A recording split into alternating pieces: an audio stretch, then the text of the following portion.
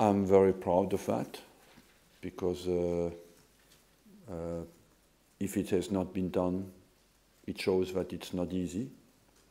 And all of us uh, want to achieve uh, things that are not uh, easy and who are difficult. And uh, I think as well for the club it's great because we won it 12 times, more than any other club. Personally, I played in seven finals and we won six. So it's, uh, I'm very proud of that.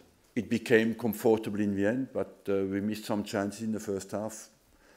And on top of that, we had two uh, important moments. We scored just uh, before half time and after half time. And of course, that was too much uh, uh, for Villa with the quality we had today. Yeah, they deserve to win the game. No arguments about that. Um, they're they've got outstanding world-class footballers, and today we couldn't nullify their threat, and uh, we couldn't manage to impose ourselves on them either.